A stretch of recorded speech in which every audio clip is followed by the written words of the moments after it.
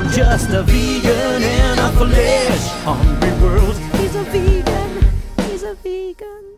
Hi, I'm Vegan Smythe. Welcome to Freedom of Preach. Uh, today I'm going to investigate a very serious question which I know is on the tips of so many people's lips. Is vegan the same as gluten free?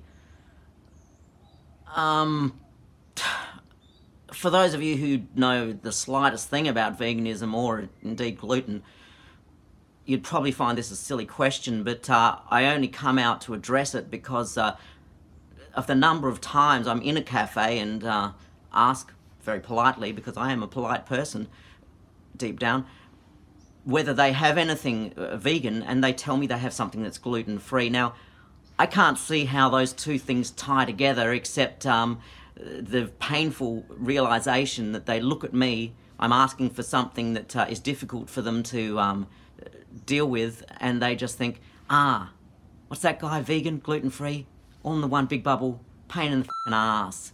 That's how they see me.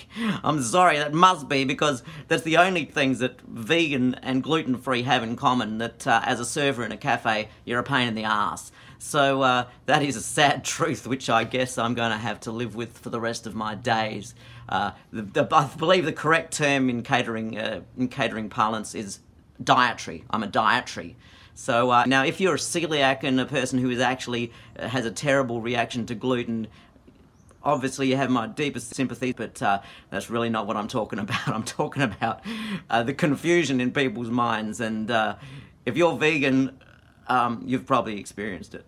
I want to know if you're a celiac, do you go into a cafe and, and say, I'm celiac, I need something that's gluten free, I'm serious, give me gluten and I'll die? And do they look at you in the eye and say, We've got vegan? Does that happen? I'd like to know. Let me know down the bottom. Thanks.